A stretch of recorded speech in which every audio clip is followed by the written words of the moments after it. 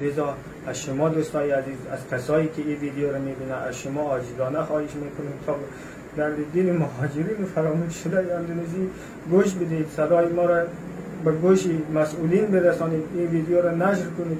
یک از عزیزای ما یک از دوستای ما دیروز لب خود را کوک کرده. دوستای عزیز کسی که یک سوزن در جان خود زده نمی‌تواند چطور میشه که لب خود را کوک کنه؟ ای از درد است ای از حماقت نیست. ای از بدبختی است. ما شما خواهش می‌کنم عاجزانه خواهش می‌کنم. ویدیوی ما را نشر کنید تا به گوش جهانیان برسه سلام بر شما دوستان عزیز. بیننده و شنونده سنترال افغانستان هستید. در ادامه صدای مهاجران افغانستان را مقیم اندونزی برای شما نشر می‌کنیم که با درد و رنج و بغض ضبط کرده است و به ما ارسال کرده است. ما امیدوار هستم که شما در هر گوشه از دنیا که هستین این کلیپ به اشتراک بگذارید به خصوص اگر با ادارات مهاجرتی کشورهای مختلف همکار هستین برای آنها کلیپ نشان بتین متاسفانه وضعیت مهاجرین در اندونزی بسیار رقدوار است و برخی تا ده سال دوازده سال هست که پروندهشون بررسی نشده است. خدا نام محمد امان شفایی است یک تن از مهاجرین فراموش شده اندونزی. تاریخ 12 اکتبر 2021 ما می‌خوایم ویدیو ثبت کنیم برای افغانستان سنترال. تا از طریق از این ویدیو بتانیم که صدای مهاجرین فراموش شده اندونزی رو به گوش جهانیان برسانیم به گوش کسانی که مسئول است به گوش حقوق بشر برسانیم.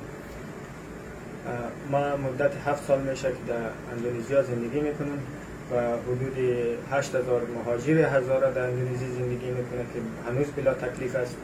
متاسفانه ما بارهای بارها تلاش کردیم تظاهرات کردیم تا صدای خود را به گوش جهانیان برسانیم و هیچ کس پاسخگو نیست. ما بارها پیش دفتر یونیسیار رفتیم بارها پیش پلیس رفتیم پیش دفتر والی رفتیم. هیچ کس در این مورد پاسخگو نیست. متاسفانه هر بار که ما از اینا پرسیدیم اینا میگه که قبولی و یا اسکان مجدد برای کشور سوم که است یک هدیه است.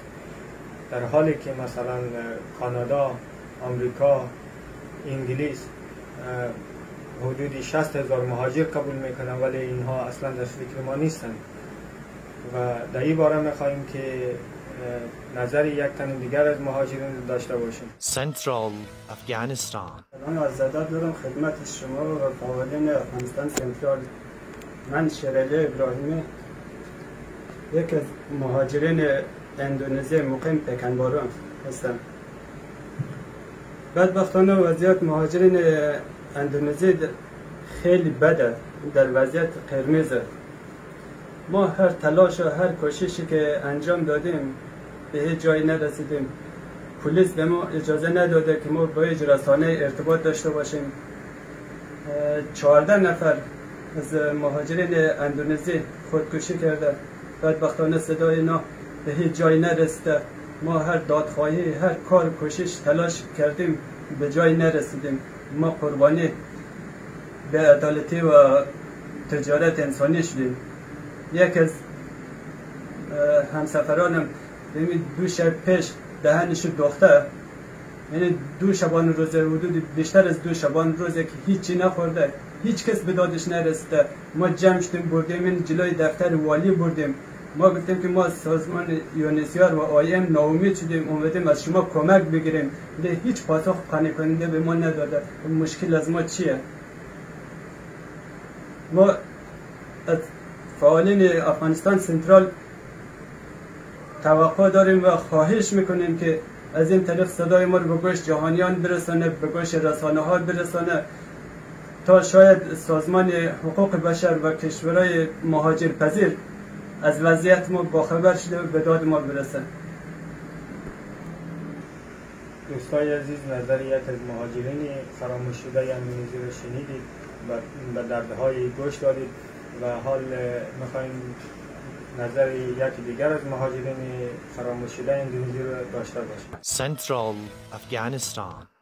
به نام خدا نام من زاکر حسین قادمی هستم. مدت هفت سال بیشتر می شود که در اندونزی به حیث مهاجر شناخته شدم و فعلا بدون تکلیف بدون آینده روشن در اینجا با سر می‌بریم.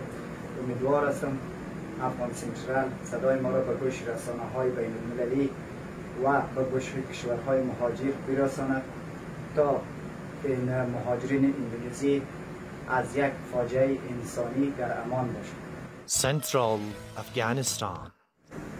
دوستای عزیز شما به حرفای دوتون از مهاجرین فراموش شده انگلیسی گوش دارید و حدود 14 هزار مهاجر سال 2014 در اندونزی زندگی می‌کنن که از این دو از این 14 هزار حالا هم اگر از سازمان بپرسیم نه کم شده و نه زیاد.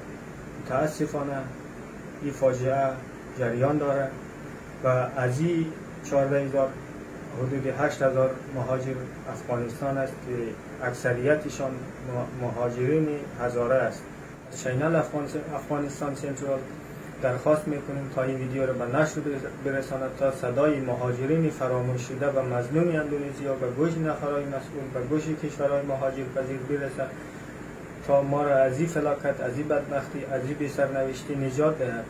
مهاجرین اندونزی در بدترین شرایط زندگی می‌کنه در بدترین شرایط روحی و روانی زندگی می‌کنه ما در بدترین شرایط زندگی می‌کنیم. متاسفانه نه بیمارستان خوبی اینجا است نه دکترای خوبی داره که ما اینجا زندگی می‌کنیم. متاسفانه ما بارهای بارها تلاش کردیم صدای خود را به گوش جهانیان برسانیم ولی موفق نشدیم.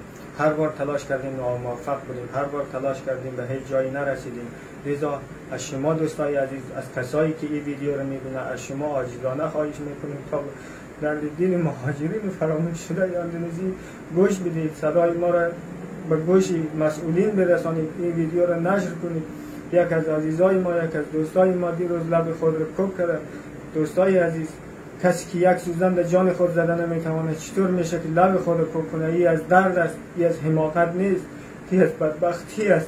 ما شما خواهش می‌کنم عاجزانه خواهش می‌کنم ویدیوی ما را نشر کنید تا به گوش جهانیان برسه ما باش ما عاجزانه التماس می‌کنیم. صدای ما رو به گوش جهانیان برسانیم تا کسای مسئول صدای ما رو بشنوند ما هر چی داد بیداد می‌کنیم اینجا گیر ماندیم. ما قربانی سیاست مرزی استرالیا شدیم. ما هر کاری می‌کنیم صدای ما به جایی نمی‌رسه. ما هر تظاهرات می‌کنیم هر کار می‌کنیم. نه رسانه ای را اجازه میده که از ما مصاحبه بگیره. ما مجبور شدیم که به دوختن لب خود فکر کنیم. ما مجبور شدیم به اعتصاب غذایی فکر کنیم. ما مجبور بودیم در اینجا بیاییم. ما گیر ماندیم. کسایی که فکر می‌کنه کسایی که میگه که اونا مجبور نیستن اونا جایشان خوب است جای ما خوب نیست ما در بدترین شرایط ممکن اینجا زندگی می‌کنیم. از شما خواهش می‌کنیم. از هر کسی که ویدیو رو می‌بینه از او خواهش می‌کنیم که به داد ما برسه. و عنوان یک انسان این ویدیو رو به نشر برسانه تا صدای مهاجرین مظلوم اندونزی به گوش جهانیان برسه به گوش کشورهای مهاجر پذیر برسه. مگر امکان داره در در چیل هزار نفر که کانادا قبول کنه هفت هزار مهاجر هزاره در اندونزی در بدبختی گیر فراموش شده. اونا نتانه ما رو کمک کنند. لذا از شما خواهش می‌کنیم عاجزانه التماس هم می‌کنم که صدای ما را به گوش نفرهای مسئول برسانید تشکر. از آن هموطن این مهاجر افغانستانی در یک نقطه اشاره کرد که اینجا شفاخانه خوب نیست. منظورشان این هست که شفاخانه خوب هست اما شفاخانه که برای مهاجرین اختصاص داده شده یک کلینیک است. شفاخانه نیست. کلینیک است که امکانات نداره. بسیار دکترانش کم تجربه هستند ادویه نداره و فقط برای شما یک پاراستامول میته بیشتر از اون نه. اگر یک مریضی مثلا نیاز به عملیات داشته باشه نیاز به مراقبت های بیشتر داشته باشه در اون کلینیک امکان نداره. و مهاجرین هم از سوی دیگه در توانشان نیست که به خاطر تداوی خود در یک شفاخانه بیشتر مراجعه بکنه. چون هزینه های درمانی در کشور اندونزی بسیار بالا هست.